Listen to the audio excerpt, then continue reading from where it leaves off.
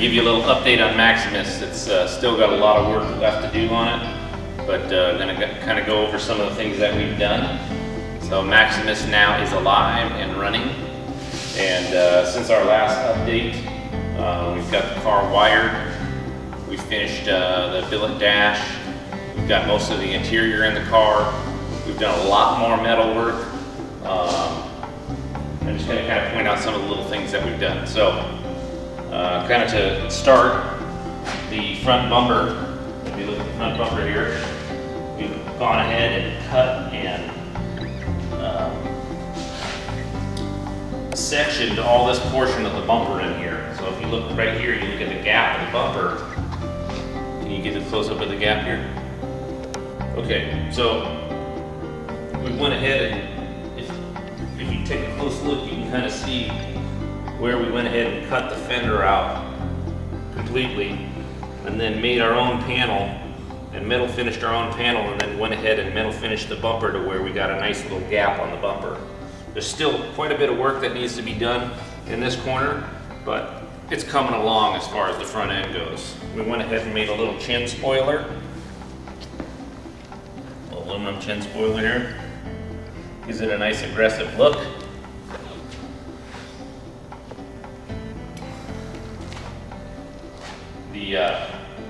Engine bay, all the all the turbochargers and the intercoolers and everything is all functioning right now. All the fuel systems are functioning.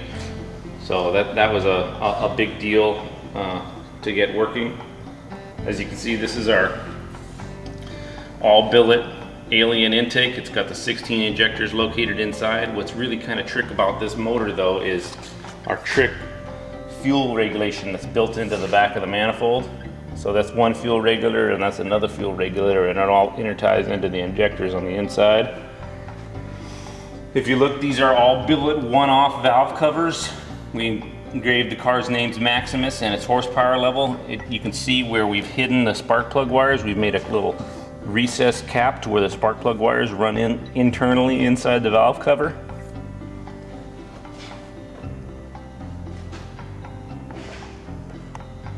These are all brake and clutch reservoirs right here. So you've got independent brake and clutch reservoirs.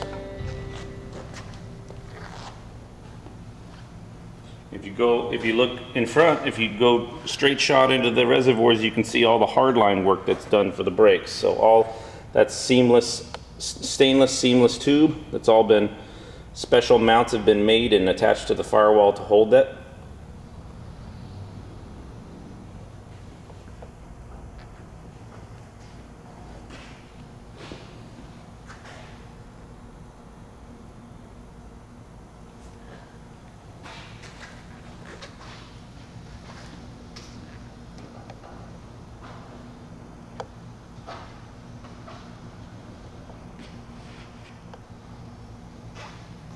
we've put uh, this is a work in progress right here. We went ahead and put these uh, Porsche latch systems, so it's got a dual latch. And you can pull that from the inside of the car, it'll pop the hood. It's kind of a neat thing. It's still in the infancy of being fabricated right now. On the interior,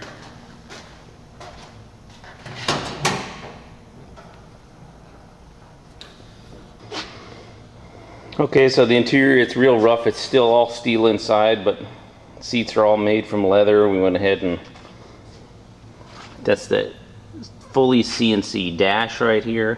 If you look at the dash here, we went ahead and had custom gauges made with the original font, but you can see 260 mile an hour speedometer, 8,000 RPM tach, Okay, so here's kind of a view from the passenger seat. We went ahead and cut this billet dash. Of course, we put the logo 2000 horse. There's the glove box, and you come sweep across. We've matched the factory contours of the dash.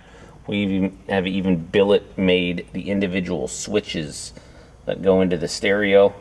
Now this dash, if you see it split, although it's not working, it actually pulls back four inches, flips 180 degrees, and moves forward. And there's a full um, iPad control for the entire car that uh, flips up in the front.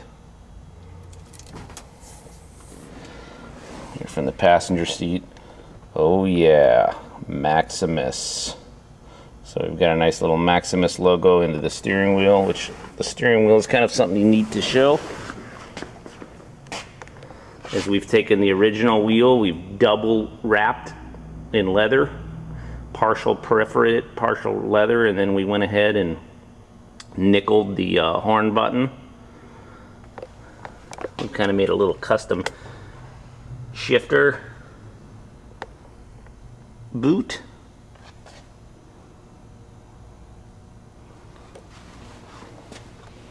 Get a view of the interior. It's pretty nice and lush.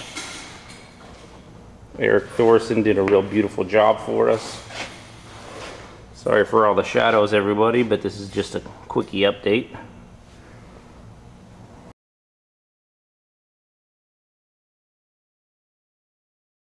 All right, enough of all this metallurgy. Let's take this thing out for a maiden voyage and see what she looks like and sounds like.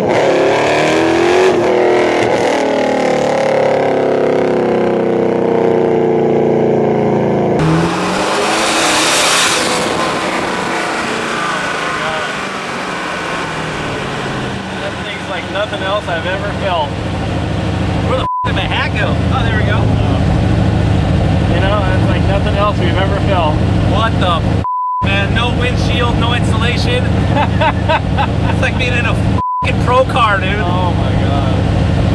Oh my god. Unbelievable. Okay, so kind of go through some of the stuff. You can see we've got this uh, custom Ron Davis Monster radiator, twin 16 SPALs. It's a cross flow. We've got a pair of our patented mirror image turbochargers. You can see by the plumbing. Hidden in the uh, fender wells are our water to air intercoolers.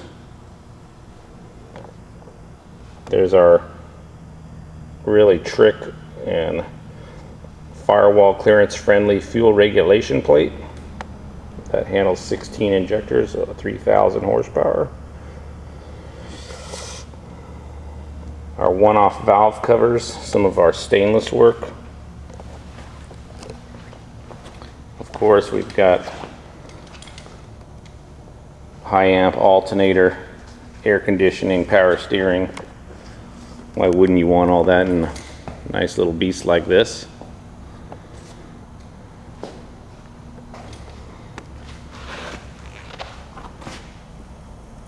You can see how we're starting to mold that bumper into the top of the, into the side of the fender there.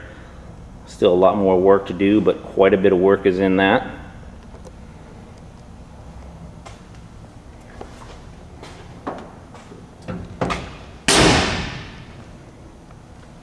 This is kind of neat. I don't know if you can see it through.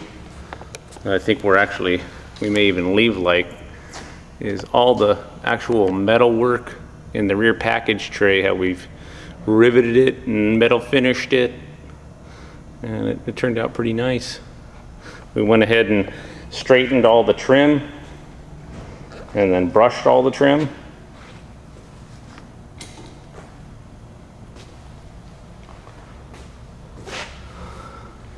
View of the fit of the rear bumper. Pretty classy. Of course, we gotta take a peek under the trunk here. Oh yeah, look at this. Okay, so what we're looking at is one of the, or I think the craziest gas tank ever made. This was a 2,000 pound slab of aluminum that we've carved from full billet. It's actually a twin gas tank. We've got about 30 gallons of 91 octane where it splits and then you've got about 10 gallons of 116 octane. Aeromotive's Stealth A1000 pumps. We've went ahead and actually carved the tank to encase the hard lines and it's fully operational with the exception of wiring the fuel centers right now and the feeds. We've still got some detail work to do in the trunk for the batteries, but the batteries are in. You can see some of the metal work we've done in the back. How all the trunk has been, re, all the rear suspension reinforced with cage. We went ahead and water jet our own trunk hinges fit these big ass tubs. 18 inches of rubber in the back. All right, that's good.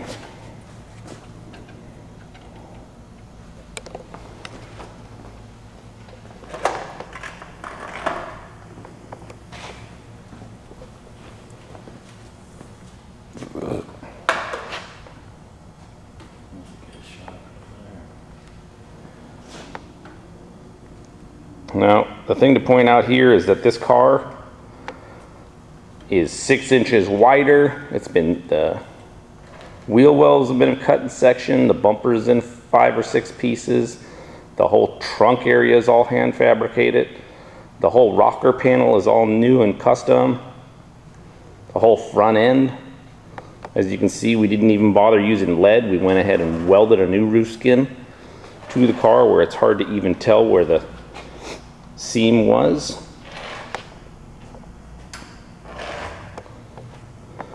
So that's why we've left it in metal to show off the actual craftsmanship of this car.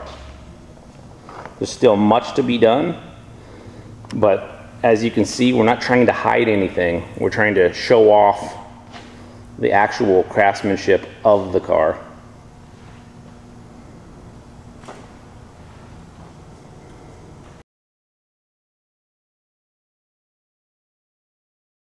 It's a fucking 101 out today.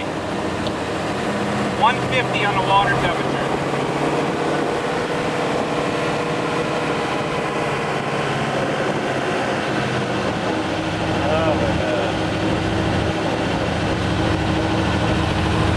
Thing comes on right where you want it to.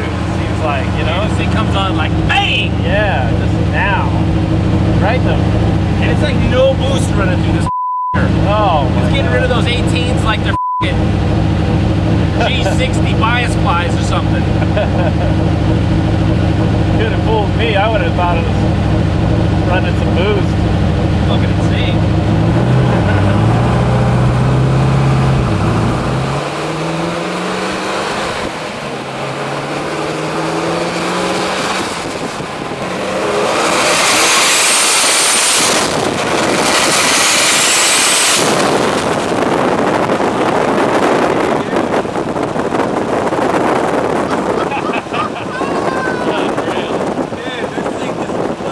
And it's pretty controllable, right? I mean, it seems to be. I mean, just because I can't see good in Yeah. the windshield. you The camera closes up when the, when the when the wind starts blowing.